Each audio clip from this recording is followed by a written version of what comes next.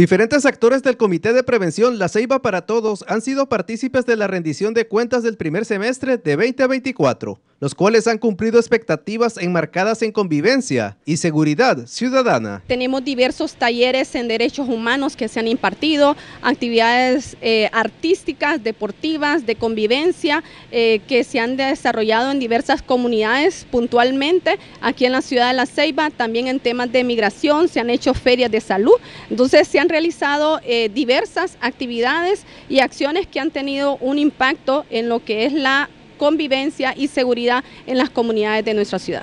¿Qué instituciones han sido destacadas? Eh, tenemos CONADE, tenemos Cruz Roja Hondureña, tenemos eh, Jóvenes contra la Violencia, OIM, muy bien. Tenemos también el Departamento de Género con vida, ¿verdad? Y también de desarrollo comunitario, ¿verdad? Esto da la pauta para poder eh, seguir mejorando lo que resta de este 2024.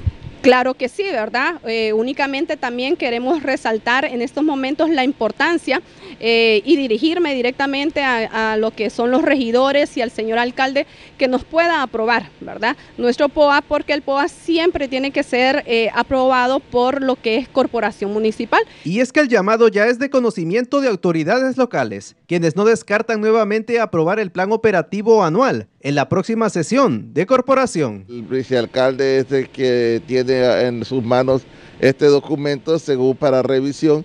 Y en ese sentido nosotros como corporación municipal estaremos esperando que se haga eh, ya la presentación de este documento a la corporación y poder aprobarlo para que salga el documento ya formalmente el respaldo de autoridades locales hacia ese tipo de iniciativas. Definitivamente la ciudad de La Ceiba merece todo lo que es el eh, tema de convivencia y seguridad ciudadana de la mejor manera y en ese sentido la, corporación municipal en pleno debe de estar eh, pues pendiente de toda esta temática y pues nosotros llevaremos la información hacia el seno de la corporación. Para Telenoticias informó Luis García y en cámaras, Jonathan Ruiz.